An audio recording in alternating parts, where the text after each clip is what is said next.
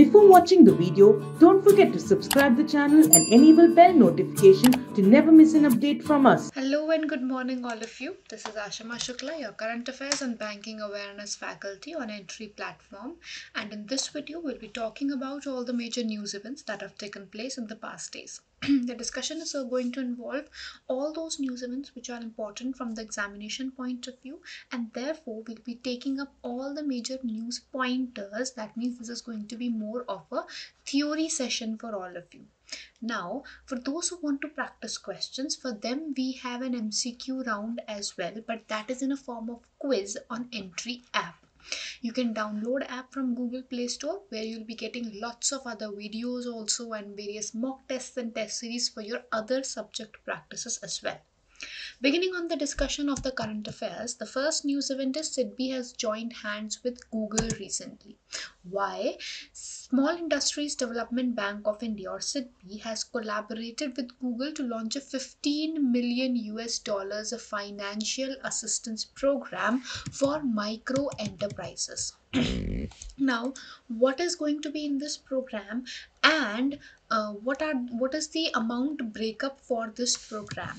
So it's one of a kind program by SIDBI launched as a crisis response related to COVID 19 to reinvigorate the MSME sector in India. Total corpus amount, as we have seen, is 15 million US dollars, approximately 110 crore rupees. Now, the target of this is micro enterprises who have a turnover of up to 5 crore rupees only, in which the loan ranging between 25 lakh to 1 crore rupees is going to be granted out of this corpus amount. And the loans will be disbursed by SIDBI, or SIDBI is going to be the one which is going to handle the uh, loan disbursement in this program. Whereas um, the program will be completely paperless for bringing more and more msme sector and helping them enhance their uh, sector in terms of uh, crisis that they are facing. Then we have trace global business bribery risks ranking 2021 this was released by Trace International recently. Now, when a ranking is there, the ma major or the important questions come that are from uh, the rank of India, the top rank, the bottom rank, uh, who are ranked, how many were ranked. These are the few questions that we get so so release we have already seen it's trace international. There were about 194 countries which were ranked in which india was ranked at 82nd position with a score of 44 in the 2021 ranking. Now this is better from the last this is uh, gone down from the last year ranking where we were at 77 the first position was with the denmark with a risk score of 2 because the score is ranged from 1 to 100 the higher is the value the higher is the amount of bribery risk. Second and third positions were marked by norway and sweden and the 194th or the last rank that was marked by north korea then we have 2021 National Book Awards. Now, uh, recently these book awards were given out. In this, we need to remember who have been given the awards uh, in these na uh, national book awards which was held by the national book foundation. So winners in category wise we have fiction category by jason mott for the book titled hell of a book. Now in this what you have to take away is the books and authors. There are direct questions which you can expect from books and authors sector and therefore you have to see which book and which author have won this national book award in non-fiction category, we have Tiya Miles for a book with the title All That She Carried, The Journey of Ashley Sack, a Black Family Keepsake. Then we have Young People's Literature category won by Malinda Lo for a book which was titled Last Night at the Telegraph Club. Poetry category was won by Martin Espada for Floaters and the Best Translated Literature category was won by writer Elisa Shua Dusapin and was translated by Aneesa Abbas Higgins for a book with the title Winter Sokcho. Then we have a few one-liners. Union Minister for Commerce, Industry, Food and Public Distribution, that is Piyush Goyalji, inaugurated India's first food museum that was at Tanjavur in Tamil Nadu. This has been established by Food Corporation of India as a part of Azadi Ka Amrit Mahotsav, but it is not alone to have set up it has set it up along with the vishveshwaraya international technological museums which is based in bangalore or bengaluru. This has been developed with an investment of about 1.1 crore rupees and at an area of about 1860 square feet then we have the President of India, Shri Ramnath Kovindji, who visited Sui village in Bhiwani district of Haryana.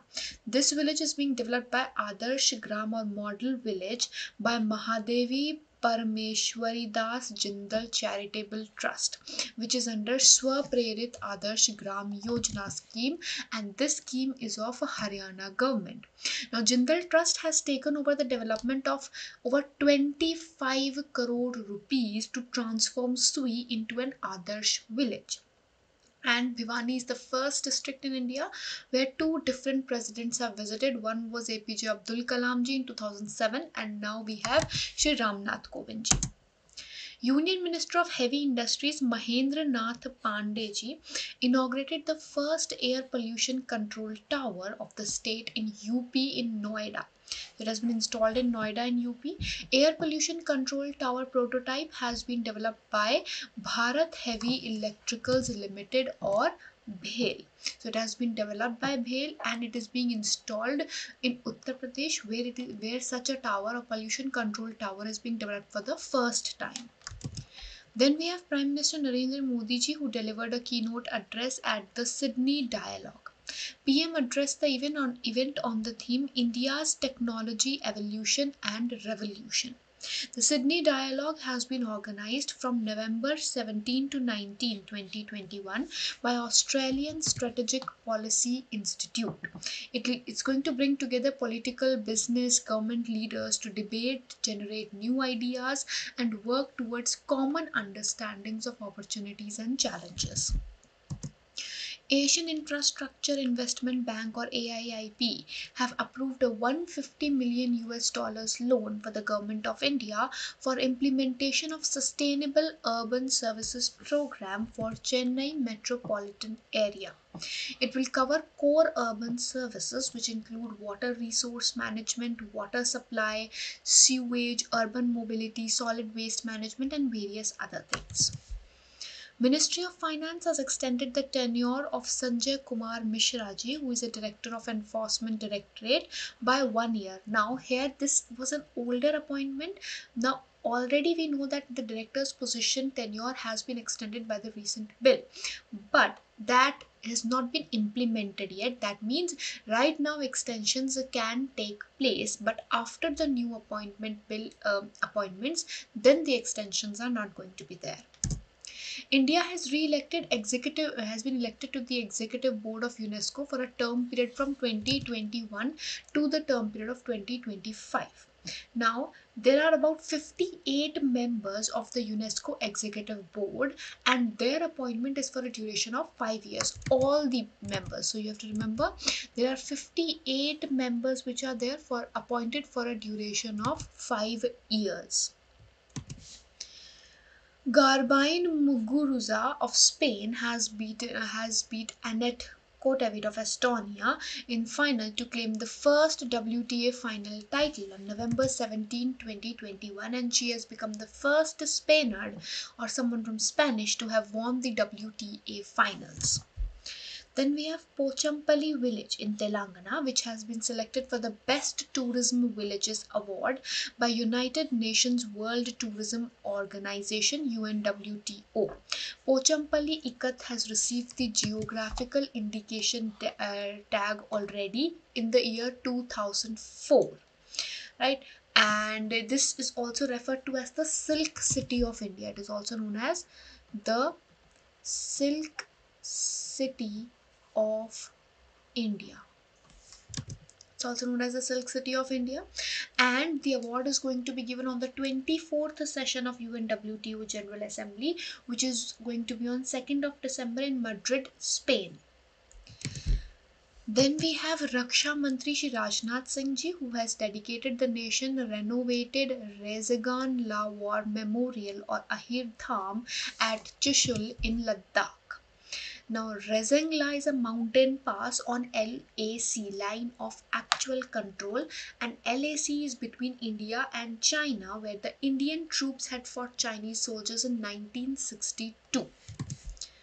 Prime Minister Shri Narendra Modi ji has dedicated to the nation various developmental projects in Mahoba and Jhansi district of Uttar Pradesh recently. Now there were certain projects which have been have been inaugurated. So in Mahoba, uh, it's about a 3,250 crore rupees project on the water shortage, whereas in Jhansi it's a 600 megawatt ultra mega solar power park, which has been constructed with an um, input of about 3,000 crore rupees. Then we have Maharashtra government which, uh, which has roped in the veteran Bollywood actor Salman Khan as a vaccine ambassador for campaigning to the people to take the jabs of COVID vaccine, especially in the areas which are Muslim dominated. Paytm Money, which is a wholly owned subsidiary of Paytm, has launched a voice trading which has been powered by artificial intelligence. So it's going to allow users to place a trade or get information about stocks using their voice command. Alexander Zverev has, has defeated Francis Tiafoe and has won the 2021 Erste Bank Open, which was being organized in Vienna recently. Indian badminton legend Prakash Padukoneji has been selected for Lifetime Achievement Award for 2021 by the Badminton World Federation BWF Council. National Thermal, Thermal Power Corporation Limited has signed an MOU with Indian Oil Corporation Limited to work in the field of renewable energy. Both will explore opportunities to generate low carbon and RERTC round the clock captive power. Karnataka Vikas Grameen Bank has won the Best RRB under the Regional Rural Banks category award. These awards were given by ASSOCHAM or Associated Chambers of Commerce and Industry. Artificial intelligence powered voice trading facility has been launched by Paytm, which we have already seen. IndusInd Bank has launched an Indus Merchant Solutions, which is a mobile application launched for merchants, retailers, and professionals to perform banking transactions in a more digital format, in a more uh, including format. Government of Madhya Pradesh has launched Mukhya Mantri Udyam Kranti Yojana, which has already been approved by the Chief Minister of Madhya Pradesh. It aims to connect the state's educated youth community to the self-employment. So for this uh, minimum uh, qualification of 12th standard and age between 80 to 40 years, where the projects between 1 lakh to 50 lakh in manufacturing units. If it's a manufacturing unit, 1 lakh to 50 lakh uh, projects are going to be funded and 1 lakh to 25 in service. 1 to 25 lakh in the service units uh, or in the retail sector are going to benefit in the retail or in the service unit Hmm. Garbiñe Muguruza has won the WTA final and she has become the first Spaniard to do so. Op Hercules is the name of a joint airlift exercise conducted by Indian Air Force and Indian Army. It helps to strengthen the logistic supply of North Sector and enhance the winter stocking in operation areas. So C 17, IL 76 and AN 32 aircrafts were used to perform the airlift. State Bank of India and Jamshedpur, uh, Jamshedpur Football Club has entered into a strategic agreement and signed an agreement to support and promote basketball as a sport in India recently. HDFC has launched a microcredit facility for street vendors under the PM Swanidhi or Pradhan Mantri Street Vendors Atmanirbhar Nidhi with CSCs. So vendors will be able to complete the process of uh, on all the online platforms and they can get collateral free loan of 10,000 uh, with an interest subsidy of only 7%. First Global Innovation Summit of the pharmaceuticals sector inaugurated by Prime Minister Narendra Modi ji via video conferencing, mentioning that India's healthcare sector has attracted 12 billion US dollars in FDI since the year 2014. BOB Financial Solutions Limited has partnered with National Payments Corporation of India to launch BOB credit cards. BFSL is a wholly owned subsidiary of the Bank of Baroda and there are two variants namely Easy and Premier which are going to be launched on the RuPay platform. With this, we'll be winding up this segment and I hope this session has been helpful. We'll see you in the next video. Till then, have a great day ahead.